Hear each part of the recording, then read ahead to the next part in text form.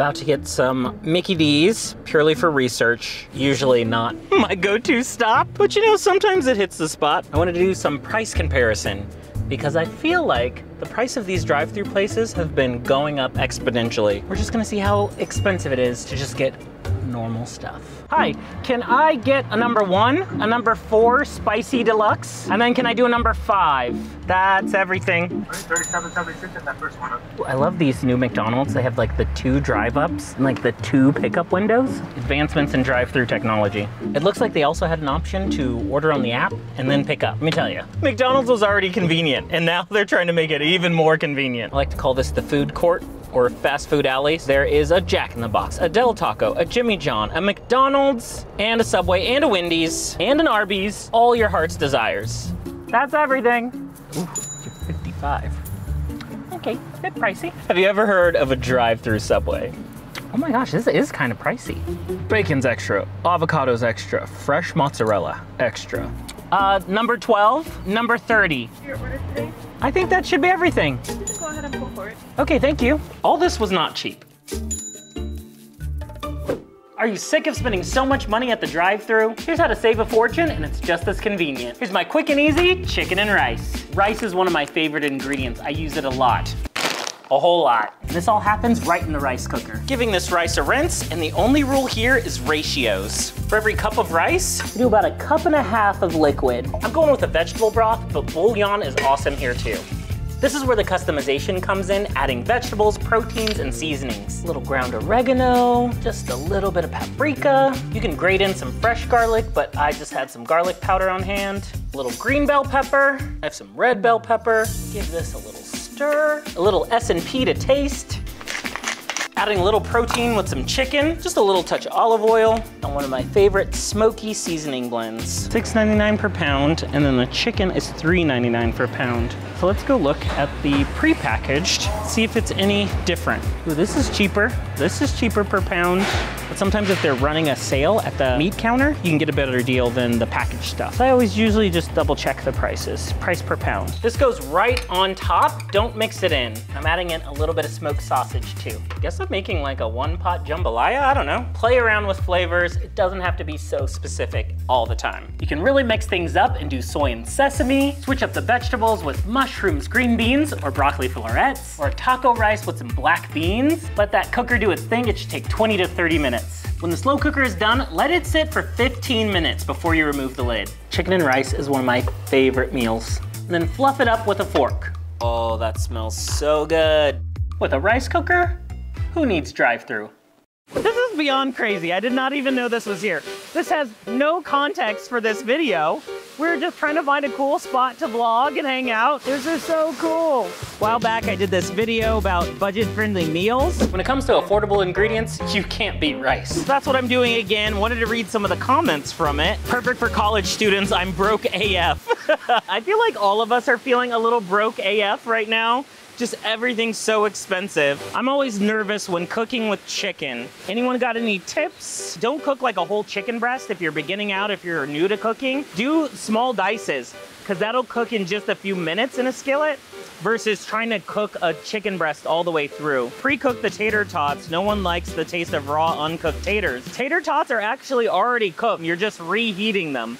So that's why it works on the casserole because you're just heating them through. Stop wasting your money on processed, pre-packaged meals. You can eat better and save money with these ingredients. Let me show you my easiest dry bean chili. If you've never cooked with dried beans, it's so easy, and this will be your tutorial. I'm starting with pinto beans. You can do red beans, a bean medley, chili, any bean works. I'm looking for about a pound of beans. You wanna rinse and look for anything that shouldn't be in there, and everything right into the crock pot. I'm using chicken broth. You can use water, but I like something with flavor. For a pound of beans, you're looking for anywhere between six and eight cups. I just eyeball it. As long as it's covered by about an inch or two of liquid, you'll be good. Anything goes to flavor your beans. Spices can be expensive, so I go for the bulk value variety. The bag spices, or even if you can get bulk spices, these are so affordable. Like you can clean up on spices, so 99 cent per ounce, now the name brand stuff, $2 per ounce, 188 per ounce. Insane difference.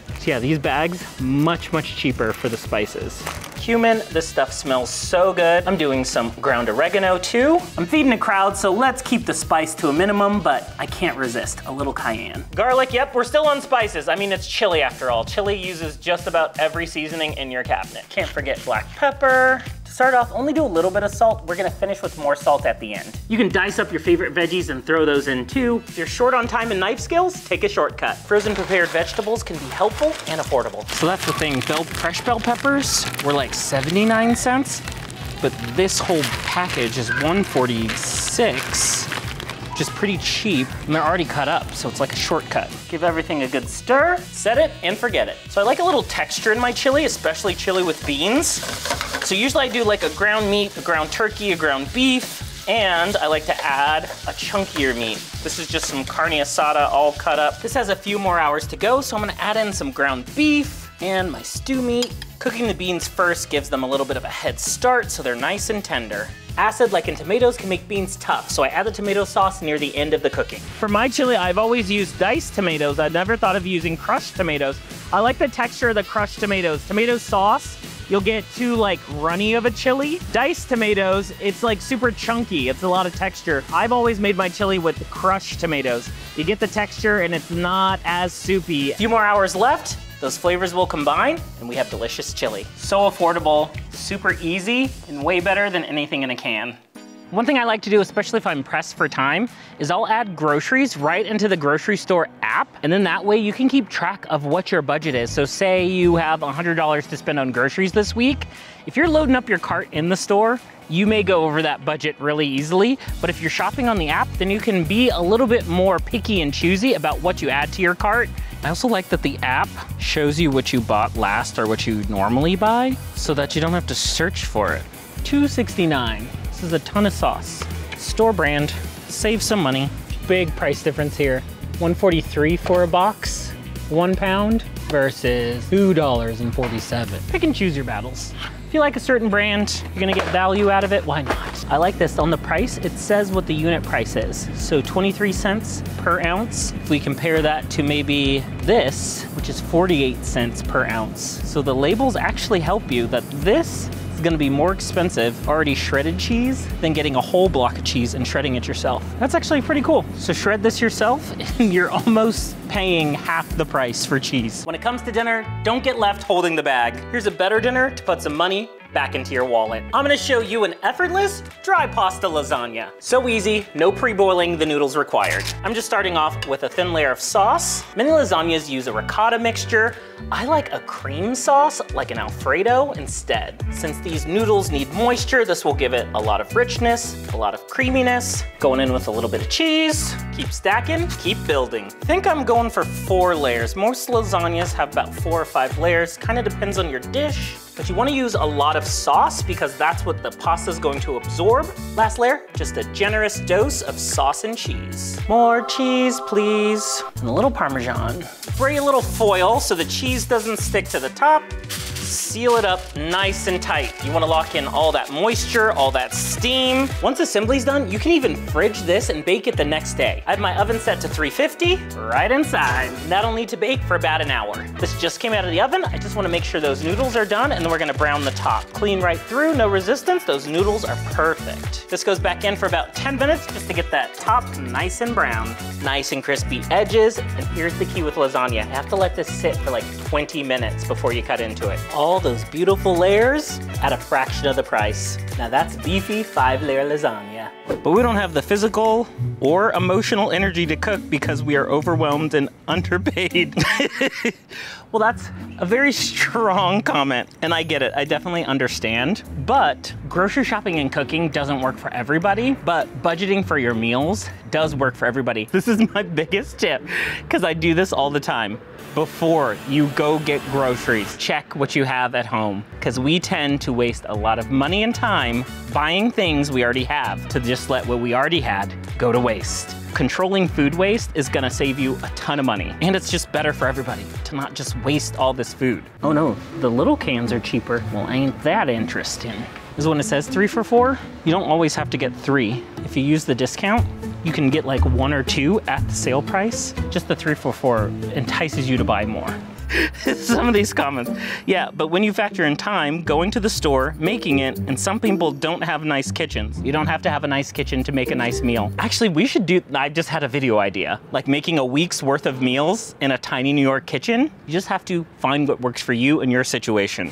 He reminds me of Julia Child because he said, bon appetit. Bon appetit. Bon appetit. Julia Child would have come on like PBS when I was like really young. That's when I first started loving cooking and learning how to cook. So yeah, Julia Child was like one of the first and only. Tired of overpaying for delivery? Here's how to eat great pizza for less. This homemade pizza dough is fast, cheap, and easy. Every good pizza starts with dough. It's incredible that people pay so much for pizza when the ingredients are flour, water, and salt. You can't get much cheaper than that. Little sugar to help retain the moisture, and salt for flavor. Warm water to make the yeast nice and happy, just a little bit of oil. Just want this to run on low until it all combines. If your dough's looking a little dry, you can add a touch more water, or if it's looking too wet and sticky, add a little bit more flour. I'm gonna let this run about five minutes to help develop that gluten. The mixer is gonna do all the kneading for me. No worries if you don't have a mixer, this can all be done by hand. This comes together 10 minutes in the morning, let it slow proof in the fridge, and then it's ready for dinner. That dough rose nicely, time to bake little olive oil. I'm doing a sheet pan pizza, but you can do round pies on a pizza stone in the oven. This oven is scorching already, 500 degrees, about as high as your oven can go. Nice and crispy bottom. Give that dough a head start in the oven about 10 minutes. Sauce and top with your favorite ingredients. Just a little olive oil around those edges, some garlic, plenty of cheese. All the pepperoni you can deal out. Last touch, some grated Parmesan around the crust. Back into the Inferno for about another 10 to 15 minutes. Hot and fresh out of your own oven. Delivery who? Now that's saving some dough. Guac is extra, unless you make it at home your favorite like restaurant meals or like to-go meals, a lot of times you can do the same thing at home for far cheaper. And what you're paying Chipotle, you could may have like 20 meals, you know, at home because rice and beans are so cheap. This is nothing against the restaurants and the chains, but yeah, if you're thinking about it, $7 for a Subway sandwich bread and meat and cheese, and you can put as much meat on as you want it, you can put all the toppings you want, it's gonna still be far cheaper and better quality. It's just the fact of the matter. Don't drive yourself crazy. If you're trying to save money, just start small, you know? Start at the places that you can control, right? So it's not about having the world's cheapest meals, it's just about saving a few dollars and being more conscious of where you spend your money. I remember growing up, I mean, I'm the oldest of five kids, so my parents did what they could to like stretch every meal and make sure everybody had enough. When you have multiple mouths to feed, the dollars count. The dollars and cents add up. Yes, that's all true, but the time and energy to shop and cook, find shortcuts when you can. Shortcuts don't have to be expensive. I do grocery pickup on my way home or while I'm out running other errands, pick up my groceries, bring them back home. feel like I'm getting a little ranty. I'm passionate about this money saving meal stuff. I guess that's the thing with problem solved, where everybody sees a problem, I find that there's some alternative that's easier or better.